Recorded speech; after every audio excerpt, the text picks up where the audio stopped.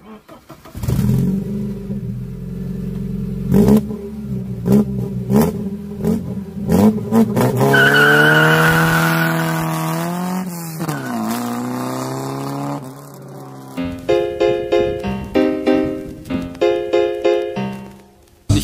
alte Karren, will kein neues Auto haben. Können ja andere gerne fahren, mir ist egal, was andere machen. Doch ich stehe halt auf Oldschool, deshalb fahr ich Klassiker. Ich liebe alte Autos, egal was andere sagen. Die Formen und die Farben, das sind Kunstwerke, die fahren. Ich werde nie verstehen, wie man das nicht sehen kann. Ist ja auch egal, jedem sein Ding. Doch weil ich alte Autos fahr, werd ich heute schon beschimpft. Mein Oldtimer macht vielleicht mehr Dreckpartikel, doch dein E-Auto ist nur ein Wegwerfartikel. Nicht gerade nachhaltig, was ihr da so macht.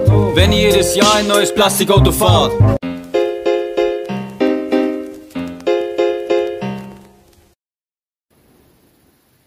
Ja, moin zusammen. So, nächster Teil. Was wir bei der Gelegenheit noch machen, solche vergammelten Massepunkte. Man sieht hier an der Seite schon ganz gut Grünspan. Die machen wir auf, reinigen die. Ne, jetzt ist einmal alles offen. Ne? Dann kann man das auch gleich machen. Das dürfte das Glührelais sein hier.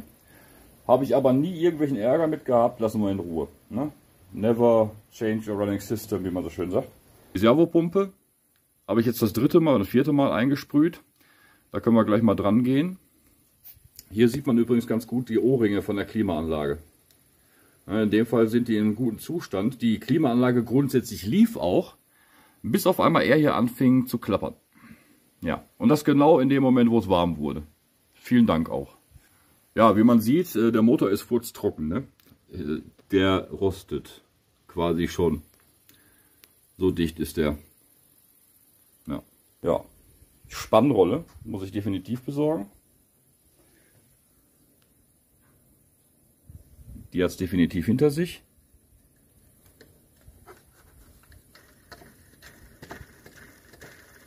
Hört man auch. Ne?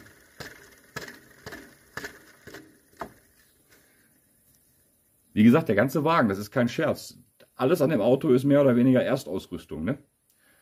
Wir haben jetzt runter 300, 400, Moment mal, 400, 467.852, also 468.000. Und äh, Respekt, VW. Ihr konntet das irgendwann mal und dann habt ihr das verkackt. Ja. Was auch noch ganz wichtig ist, der Ladeluftkühler. Den nehme ich gleich mal hier raus. Der sieht nämlich entsprechend schlecht aus. Man kann kaum durchgucken. Da ist nicht viel mit durchgucken. Ne? Ja. Vielleicht kann man bei der Gelegenheit auch mal gucken, ob ein größerer reinpasst. Ich habe noch ein paar hier. Größerer Ladeluftkühler, kühlere Luft, weniger Belastung, etc. etc. Ja, gut. Ich baue den mal aus und dann sehen wir uns gleich wieder. Jo, das bisschen hier ist der Ladeluftkühler. Jetzt mal gegen Licht hält. Viel Durchsatz ist da nicht mehr, ne? Ja, der muss definitiv gereinigt werden. Hoffentlich ist er noch dicht. Aber ich habe nie irgendwie gehört, dass da Druck rausgeht. Ja, das ist äh, ein übler Zustand. Ja. Übel. Ja. Okay, ich reinige den. Gucke ich mir bei der Gelegenheit auch die restlichen Kühler im Paket an. Achso, äh, die, ne, die Stoßstange selbst. Also das ist eigentlich die Stoßstange da, ne? nicht das Plastikteil hier oben. Äh, die Stoßstange selber ist sauber und äh, gerade. sind nur noch zwei Schrauben, dann hast du sie draußen. So, das restliche Kühlerpaket ist relativ leicht zu erkennen. Ne? Wie gesagt, bei einem Unfall diese komplette Front einfach austauschen, weiterfahren. Ne? Das ist äh, wirklich interessant. Und wie gesagt, Schlachtfahrzeuge gibt es für ein Apfel und Ei, der, die kriegst hinterher geworfen, die Dinger. Das da dürfte ich, äh, ordne ich jetzt einfach mal als Trockner ein. Mal gucken, ob ich den erhalten kann, ob ich den äh, mal in den Backofen packe. Wir werden sehen. Ja, ich sehe auch einen Schaden hier. Ja. Das dürfte wohl das Tier gewesen sein. Mal gucken, ob ich das irgendwie geklebt kriege. Hier sieht man auch ganz gut, das ist GFK, ne? Glasfaserverstärkter Kunststoff. In dem Fall sieht man die Glasfasern sogar äußerst gut. Ja der dementsprechende Schaden, ne? man gegen den Reh ballert. Hier hat sie auch irgendwas verewigt im Kühler, also im äh, Kondensator. Hm. Tja, ja, so ist das. Den habe ich, glaube ich, auch einmal da, ohne Beschädigung. Den Trockner habe ich auch noch einmal da, aus einem geschlossenen System. Auch ohne Beschädigung. Muss ich mal gucken, wie ich das mache. Gut, jetzt mache ich erstmal den Ladeluftkühler sauber und dann sehen wir uns gleich wieder. So, wir mal durchgucken, ne? Da war ein Sumpf drin, ne? Ernsthaft. Der Wagen wird wahrscheinlich jetzt um die 240 Spitze laufen. So, wir bauen aber heute die Servopumpe aus. Mal gucken, ob sie willig ist. Jetzt nach dem ganzen Öleintrag hier oben. Wir werden sehen. Gut. Was wir noch machen werden, wir werden den Motor mal sauber machen. Das, was man hier so sieht. Ja. Sehr schön. Ich bin immer wieder beeindruckt, wie lange dieses Auto hält. Ja, jetzt geht's los. Ein 17er natürlich. Ja, gut. Mit dem Schlagschrauber können wir hier natürlich nicht arbeiten, um das loszurütteln. Ne? Dabei hilft man sich am besten folgendermaßen. So, schön sicher draufsetzen, nochmal nachgucken, ob das alles so schön ist. Und dann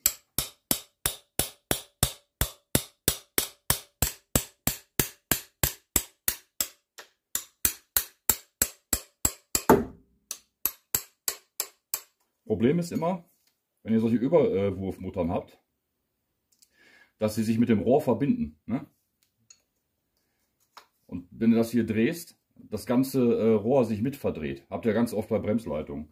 Dann ist das eine echt gute Möglichkeit, das zu lösen. So, jetzt machen wir eine Ölwanne. Da kommt garantiert noch Öl raus. So.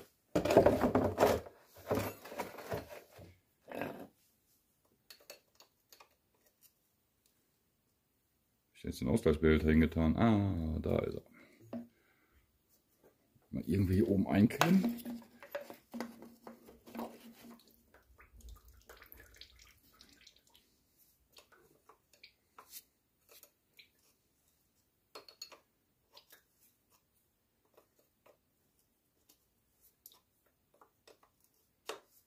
Ich habe mir jetzt gesagt, bevor ich Ersatzteile kaufe, ich habe noch nichts eingekauft, äh, das Ding hole ich auf jeden Fall raus, ob ich noch irgendwelche Dichtungen brauche. Die Spannrolle will ich erst draußen haben. Gucken, ob ich da noch irgendwas brauche. Ähm, ja, sind so einige Klamotten. Wie viele Dichtringe ich brauche für den Klimakompressor. Ist auch noch so eine Geschichte. Ich muss den noch hier trennen. Ja. Ölwechsel lasse ich erstmal sein. Der hat kein Öl verbraucht, gar nichts. Ich habe nichts nachgekippt. Und eigentlich ist er auch noch nicht dran. Man muss auch nicht übertreiben. Alle 10.000 ist vollkommen in Ordnung.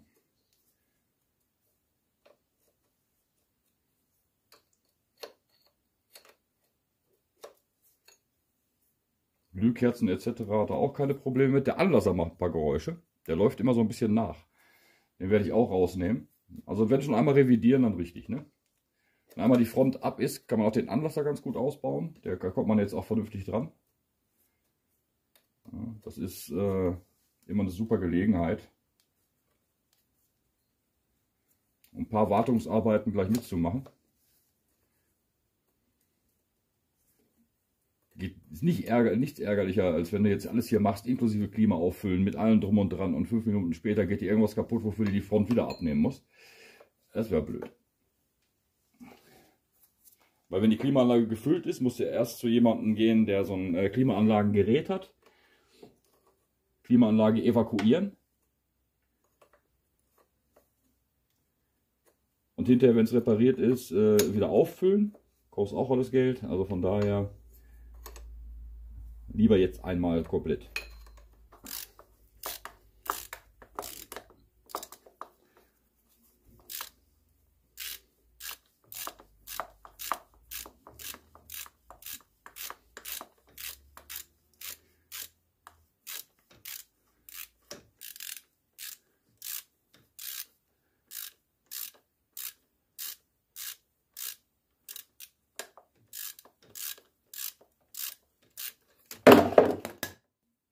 War eh fertig.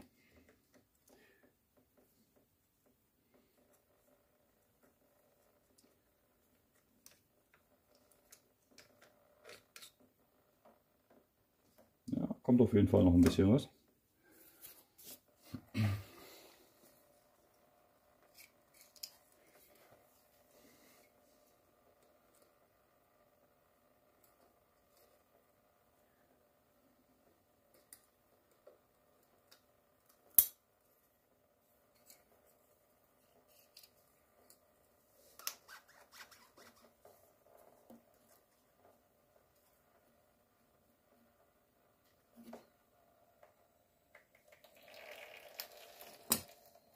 So, Hydrauliksystem Lenkung. Wenn ihr jetzt das Problem habt, dass ihr so eine freidrehende Riemenscheibe habt, ne? Hm, damit kannst du jetzt nichts lösen. Hm? Und ihr wollt die blockieren. Das ist eine einfache Möglichkeit. Deswegen schmeißt man zum Beispiel alte Keilrittenriemen nicht weg. Ähm, hab getan? Da. Sieht man ganz gut, ne? Alten Keilriemen da durch.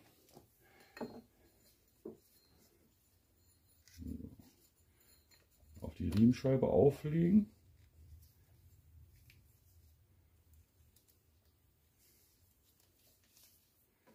Dann festhalten. Einmal umknicken.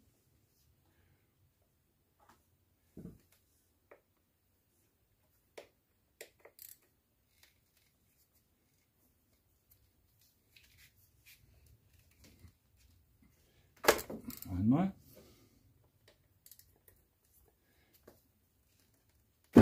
Zweimal. Und drehen wir ein Stück weiter. So. Dreimal. Ja. Riemenscheiben kann man ganz gut festhalten. Deswegen alte Keilriemen nie wegschmeißen. In dem Fall ist es jetzt ein 24er Schlüssel. Das ist super.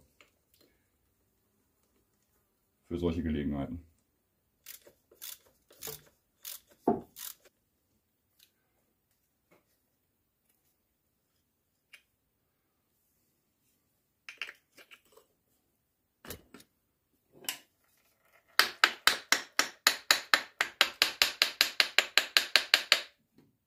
So, mal eben ins geheime Lager gerannt.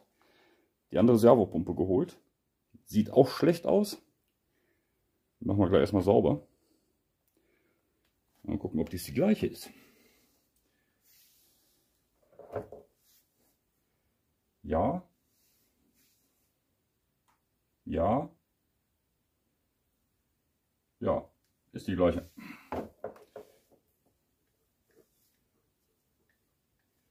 Die war absolut dicht. Ne? Auch die machen wir sauber. Ja, wie den Ladeluftkühler. Als Tipp, Backofenreiniger. Werdet ihr gleich sehen.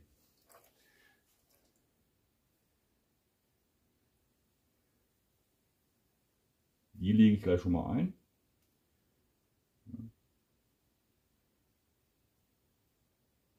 Obwohl, ich sollte die vielleicht nicht mit Backofenreiniger von innen sauber machen. Ne? Ja, müssen wir es halt von außen hier sauber machen. Egal.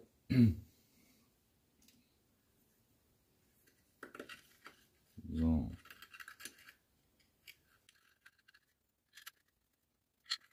so. Was haben wir da?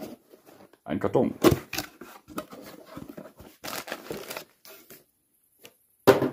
Eine neue Spannrolle. Ja, wir haben festgestellt, dass das Ding klappert. Ja. Ein schickes neues Gerät. Kommt rein. Bei der Gelegenheit auch gleich, wenn wir schon mal alles auseinander haben. Hohlraumversiegelung. Das werden wir jetzt ersetzen. Wie ihr vielleicht sehen könnt, hatten wir den Wagen zwischendurch aufgeladen, haben den äh, weggefahren und äh, einmal abgedampft. Die ganzen schwarzen Stellen, die sind äh, jetzt weg. Die Servopumpe ist auch äh, etwas andersfarbig jetzt. Ja. Das ist das Praktische, wenn man einen Autotrailer hat. Ansonsten äh, kannst du das Ding an einer Tankstelle auseinanderbauen. Habe ich euch schon mal gezeigt, dass wir einen äh, Waschbetrieb haben hier, wo man äh, wo man Motorwäsche machen kann.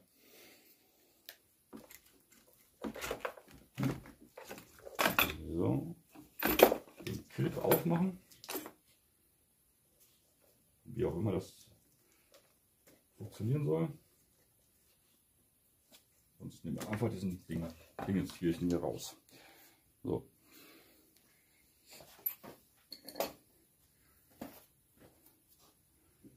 Ja, jetzt sieht man ganz deutlich hier oben die Spannrolle.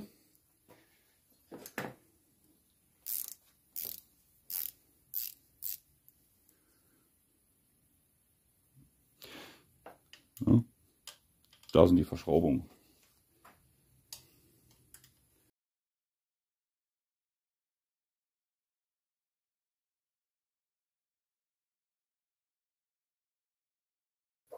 Mal gucken, ob die Spannrolle die erste ist. Das würde mich jetzt mal interessieren.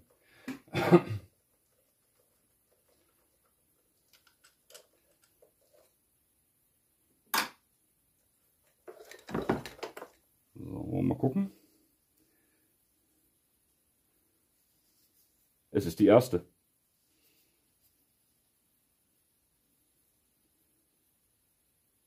Ja. Unglaublich. 2000.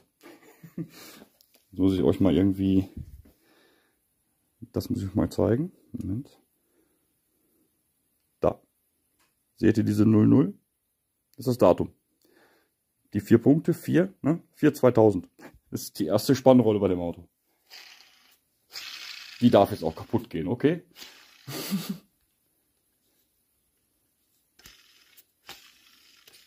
ja, man hört's. Hm.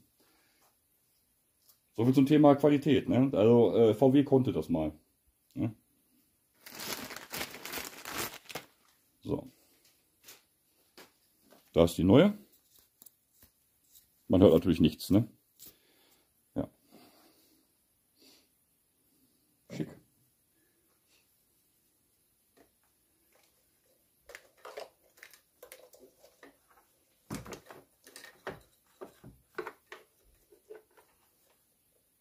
So.